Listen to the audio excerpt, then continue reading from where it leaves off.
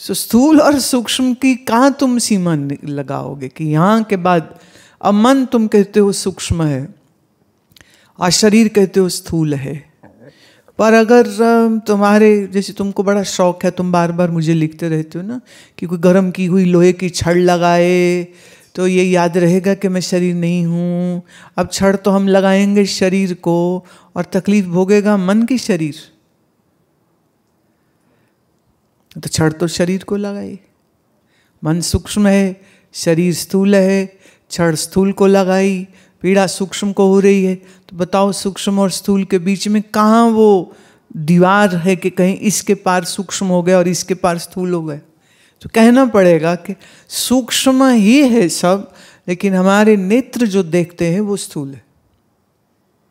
और तुम्हारे नेत्रों में माइक्रोस्कोप तो लगा नहीं हुआ।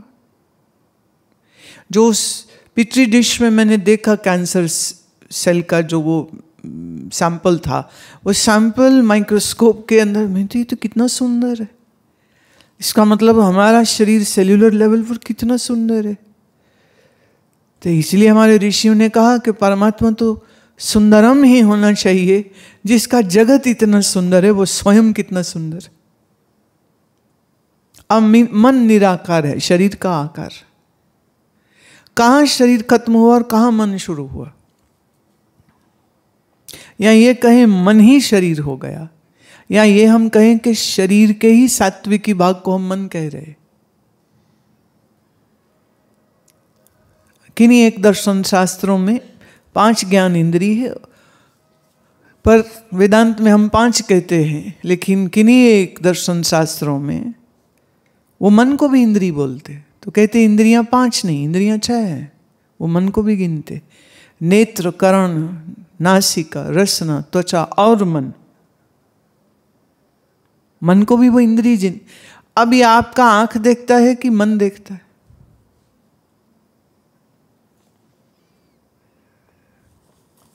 ये कागज़ है, ये कागज़ है, ये कागज़ आँख ने देखा है कि मन ने देखा है?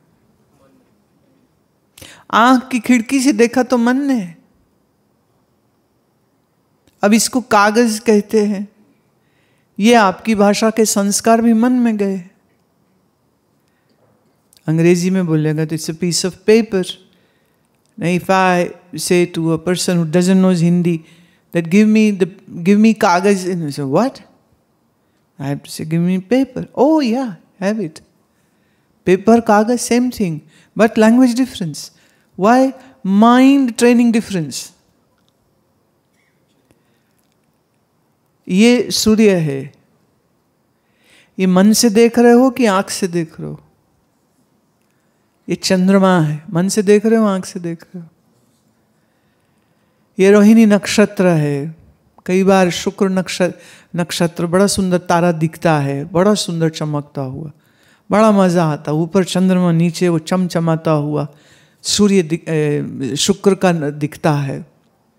तो ये शुक्र है आ, ये सूर्य है ये मार्स है।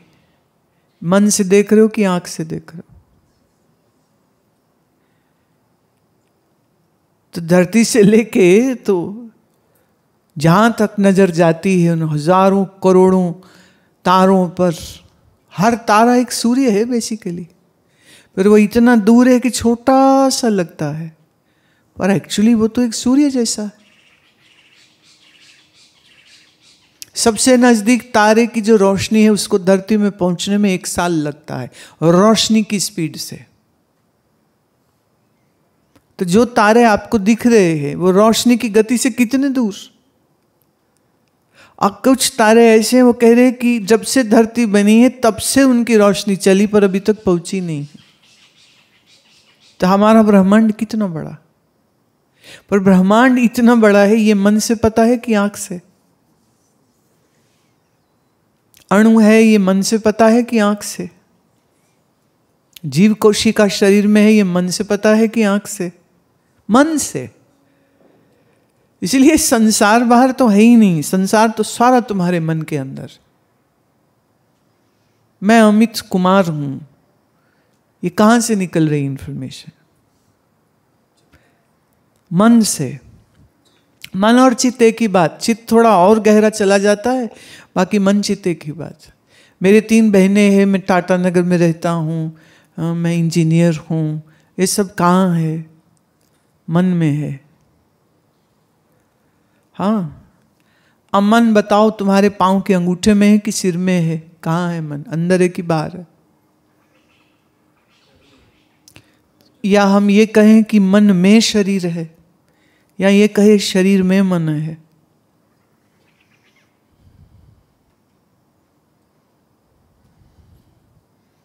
देखो क्या चक्कर है ये। अज्ञानी कहता है, शरीर के अंदर मन है। तो ज्ञान दृष्टि से देखोगे तो एक्चुअली मन में शरीर है, मन में संसार। ये शिव जी हैं। ये गुरु माँ है। ये मन से पता चल रहा है कि आँखों से।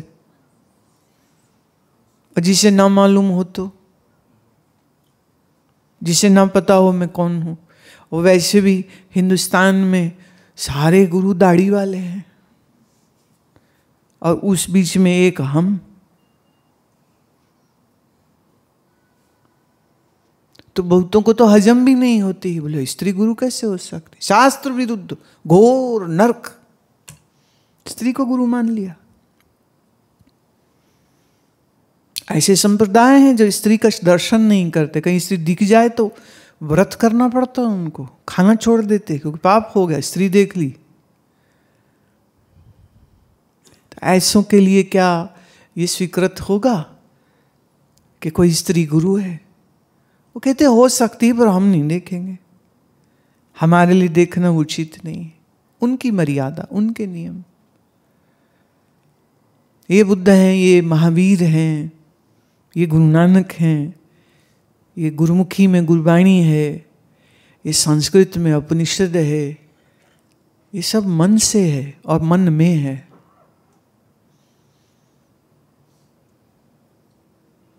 वाणी में जैसे एक पंक्ति आती, ए मन शक्ति, ए मन सीओ ए मन पंच तत्व को जियो। पर अक्सर ऐसे मुश्किल शब्दों को रागी पाठी गाते नहीं है, क्योंकि खुद ही समझ नहीं आएगी तो दूसरों को कैसे समझाएँगे? ये तुम्हारा मन ही शक्ति है, तुम्हारा मन ही शिव है, इसी मन से पंच तत्व हुए हैं। ये गुरुवाणी में आता है। कैसे? अब ये तो कोई समझाएगा तो समझ लग जाए, नहीं तो कहाँ समझ लगेगी? तो स्थूल और सूक्ष्म में कोई बॉर्डर नहीं है। कोई बॉर्डर नहीं है। अमेरिका, कनाडा बॉर्डर है, पर स्थूल और सूक्ष्म में कहाँ बॉर्डर है, बताओ। अब अजीब चीज़ है, मृत्यु शरीर की होती है और उस शरीर के अंदर जो मन था वो काम ही नहीं कर रहा। क्योंकि प्राण निकला तो सत्रह तत्व का ये जो सूक्ष्म शरीर है वो निकला तो शरीर तो ठूट पड़ा है फिर। लकड़ी जैसा अकड़ जाता है, लकड़ी की तरह ही उसको लकड़ी में जलाना पड़ता है। कौन था जो अंदर बोल रहा था?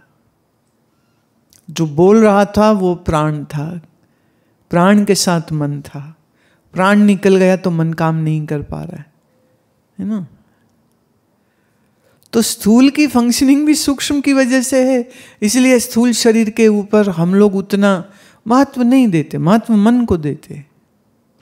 और मन सूक्ष्म है, शरीर स्थूल है। अच्छा इंद्रियाँ स्थूल है कि सूक्ष्म? इंद्रिया भी सूक्ष्म। ये आँख आँख नहीं है, ये आँख तो बाहर का एक फ़िज़िकल ग्रॉस फॉर्म है। इसके अंदर जो देखने की शक्ति है, हम उसको नेत्र इंद्रिय बोलते अब जिसके कैट्रैक्ट हो जाए, ग्लूकोमा से उसकी आई साइट चली गई। आँख तो बनी है, थोड़ा रेटिना खराब हो जाता है, देखने में अजीब सा लगता है। देख नहीं सकता है। देख, अब रेटिना है, पर ऑप्टिकल नर्व अगर डैमेज हो गई है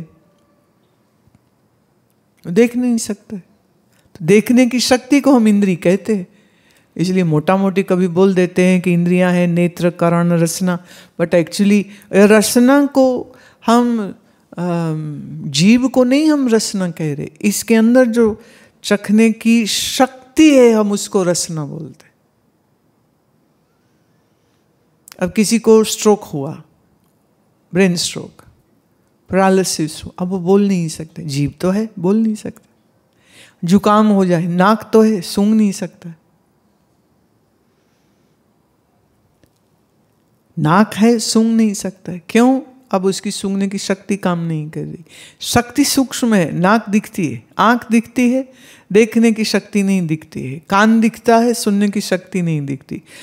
चमड़ी दिखती है स्पर्श इंद्री नहीं दिखती। पाँव दिखते हैं, पाँव चलाने वाली शक्ति जो है, कर्म इंद्री वो नहीं दिखती है।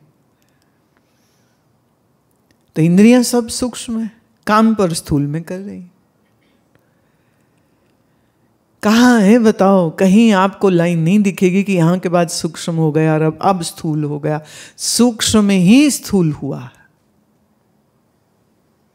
सूक्ष्म ही स्थूल हुआ।